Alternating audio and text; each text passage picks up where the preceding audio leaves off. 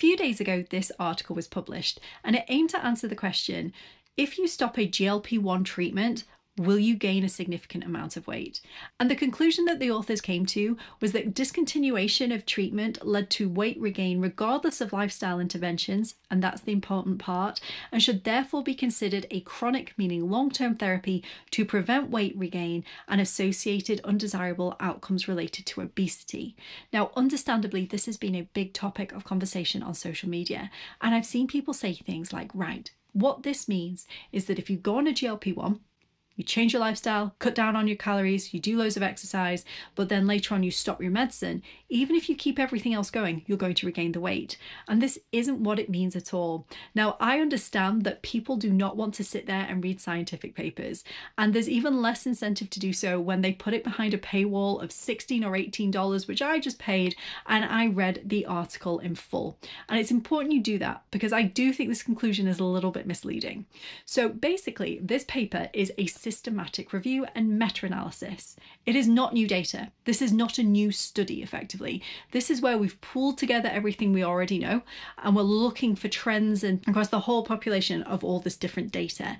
And what the authors found was that there were eight randomized control trials related to this topic, of which five related to Victoza or Saxenda, which is liraglutide, two studies related to Ozempic Wegovy, which is semaglutide, and only one study related to tirzepatide, which is Mounjaro or Zepbound. Now, this Mounjaro study is one that I've already done a full video on. I broke down the whole study, how they did it, the outcomes, what I feel this means for people, and actually looking at that study now in the context of everything else, I haven't changed any of my opinions. So I'll link that video up there if you want to see what exactly happened in this study. But what is so interesting about that is that when I read that study, what frustrated me about it was at the end it showed lots of people regain weight, but it didn't explain why. They weren't looking at people's lifestyle. They weren't looking at if they stayed in a calorie deficit. They weren't looking at if they were exercising.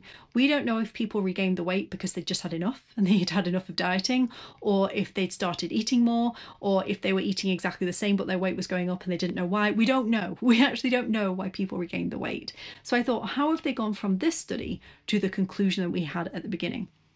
So then I looked at some of the other studies. I looked at the two semaglutide studies, and in both of those studies, none of those things were addressed either. So, what does lifestyle interventions actually mean? Well, if you look at all the studies, the participants across the studies at some point received some form of education or dietary input. So, some of them sat with nutritionists or dietitians or had somebody explain the World Health Organization diet and exercise guidelines. That's what they mean. Regardless of somebody giving that education, patients gained weight. Not that they did everything right, they did all the lifestyle and they gained weight. And that is a very important distinction.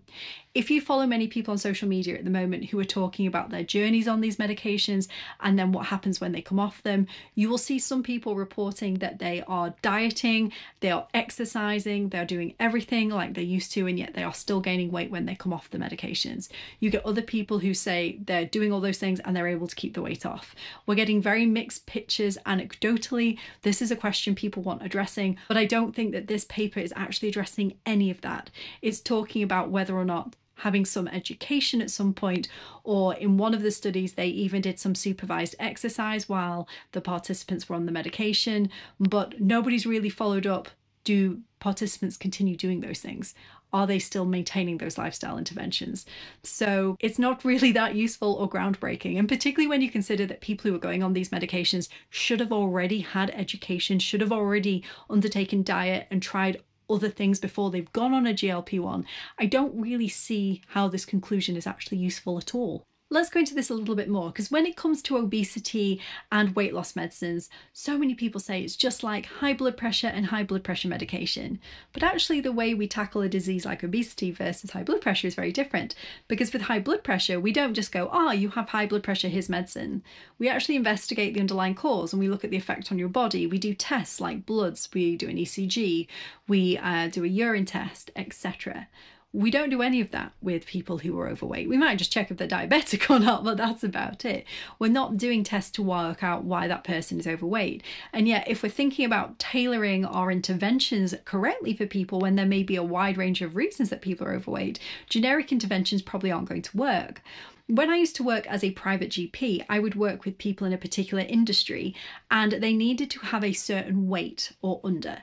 And this wasn't a discriminatory thing, there was safety reasons behind it, but if a patient was over a certain weight, then I wouldn't be able to pass their medical and they wouldn't be able to work. And most of these patients were contractors, so if they couldn't work, they couldn't earn. So it was very important that we manage their weight quickly and appropriately to get them back into work. Working with these patients over the years, it became quite clear there were two groups.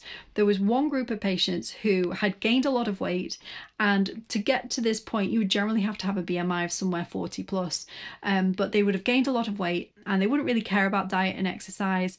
They'd know what to eat because let's face it most of us know what to eat.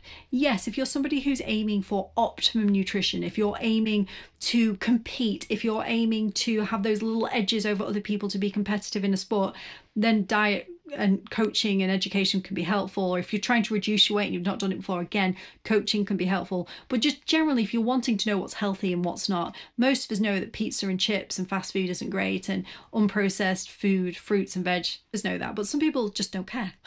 Some people are just not driven or motivated to that. Now with this group of patients who've become overweight for those reasons i didn't worry about them too much because now that they couldn't work that was generally the biggest motivator and they would come back and they'd have lost the weight.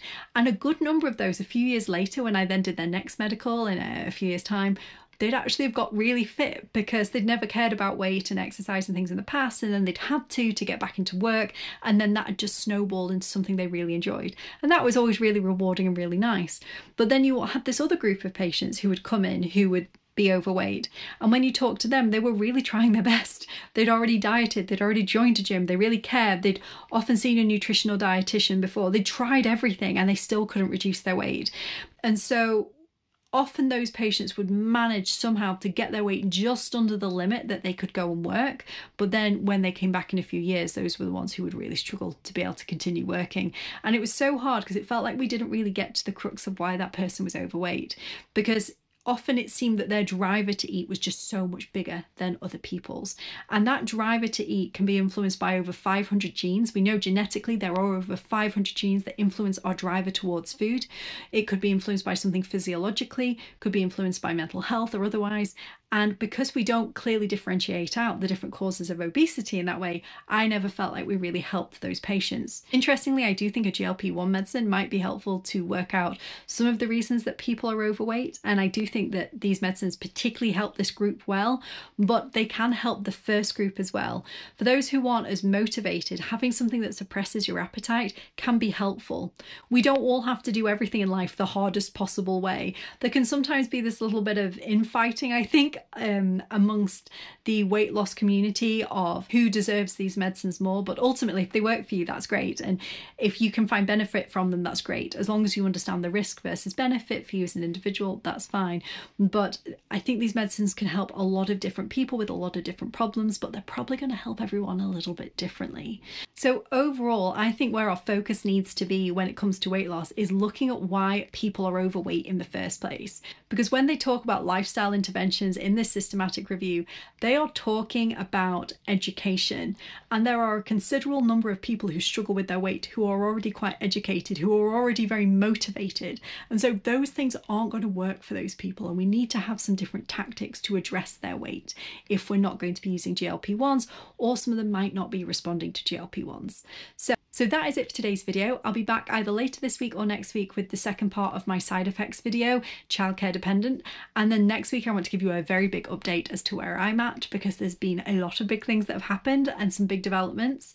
So I'm going to keep my own personal journey quite separate from my more generic videos with just generic information in them. So yeah, if there's any studies or any questions you have, pop them in the comments down below. I'm going to answer a lot of your personal questions about my own experiences in the personal video. Again, keep that nice and separate. So yeah, hope you all are having a great week and I'm going to go outside because there's a rabbit down there.